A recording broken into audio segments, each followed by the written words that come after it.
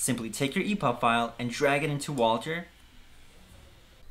Hello YouTube, my name is Josh. In this video I will show you how to easily transfer EPUB files into your iPhone using just one app. It's called WALTR. And WALTR was created by our company Softorino. We created it because iTunes did not make it easy to transfer files into your iPhone if you have not purchased them from the iTunes store. Therefore, our solution is drag and drop simple and it doesn't involve iTunes, doesn't involve installing any additional iOS app. And I think it is the best solution. That's why there's a lot of reviews online which you may find if you look for them. Alright, enough chit chat, let's get down to the tutorial. First thing you're gonna have to do is download WALTR 2. So open up your internet browser.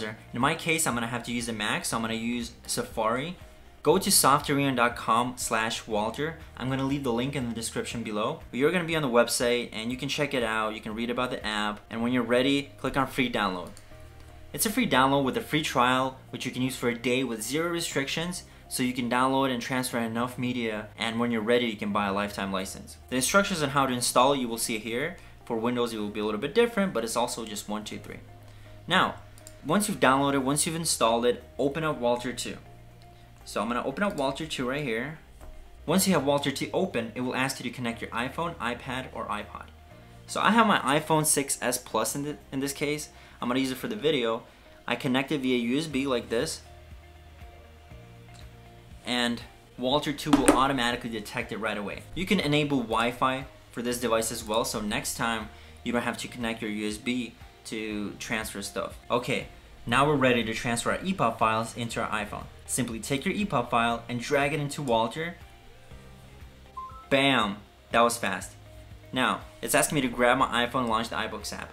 So let's go on our iPhone and check out the iBooks app. On our iPhone, locate the iBooks app. And there's our book. You can open it up you can read it. As you can see, it was super simple. Just drag and drop and that's it. So you can also do this not only with EPUB files, but with PDFs, with music, with videos, with ringtones, you name it. I truly, truly believe that it is the easiest solution and Apple should have came up with it, but they didn't. So go ahead, like the video, comment, let me know if you have any questions. I will get back to everybody. We also have a 24-7 support team, so if you use the app and you have trouble, get in touch with us. We'll be able to handle your situation, fix it, and make it work in the shortest time possible. I hope you enjoy the video. I'll see you guys soon. Bye-bye.